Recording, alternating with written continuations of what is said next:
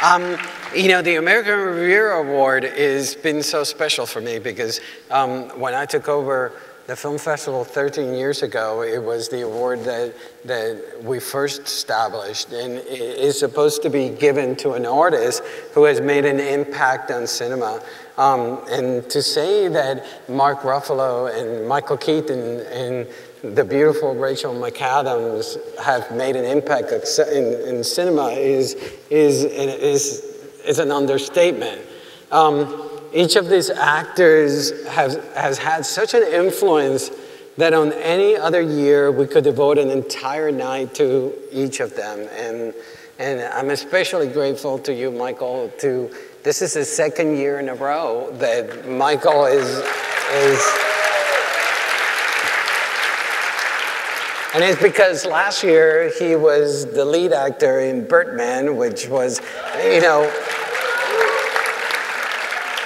such a powerful film and he won the Oscar for Best Picture, and now he's, you know, in Spotlight. So, you know, keep doing this, Michael. Every year, just keep being the lead in, um, in an Oscar-nominated film, and we'll, you, will end up here. Um, but the work of of Mark and, and Michael and Rachel McAdams together as the ensemble of Spotlight is it's a remarkable achievement and, and it merits being celebrated. Um, we were not the only ones with the idea of doing this. Last Saturday, the Screen Actors Guild gave them the SAG Award for Best Ensemble of the Year.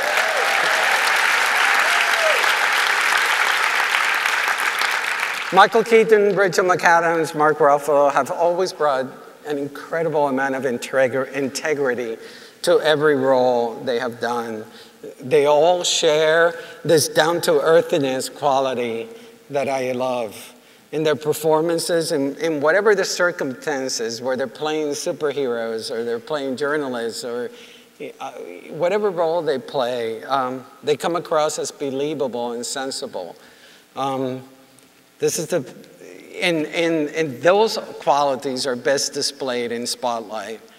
Um, Tom McCarthy, who's here in the audience, Tom McCarthy, the writer, co-writer, director of Spotlight, nominated for Best Director, Oscar. Um, Tom, your film is a wonder.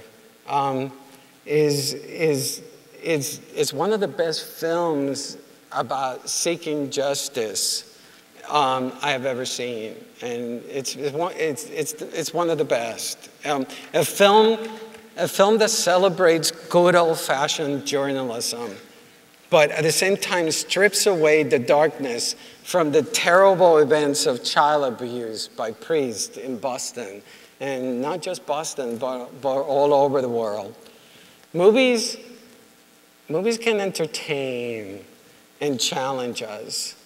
And Movies can get us outside our comfort zone. Movies can enrich our lives. Movies can illuminate our past. And movies can help us feel vindicated. And, um, and most importantly, film can help us not to feel alone because we're all in the dark experiencing um, the same emotions and the same uh, things that are being projected in, on, in, in the screen. And what's amazing about Spotlight to me is that it's more than just a film.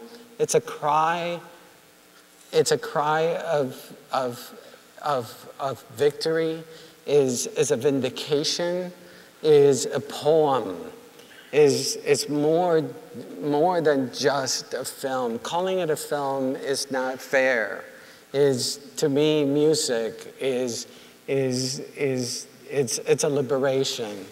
Um, I, it was just reported that in an unprecedented move, the Vatican last night screened the film Spotlight for the, for, for the members.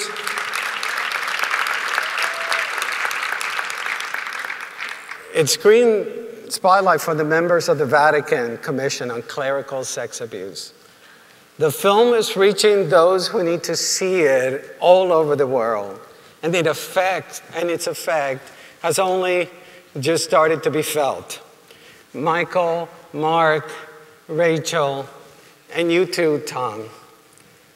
I speak for all of us survivors when I say thank you for making Spotlight. Um, um, it's, it's, it's, it's an incredible honor. It's an incredible um, uh, you know, day of celebration you know, for, for, for all of us. And, and I can't wait to talk to, to both of you, Rachel and Michael,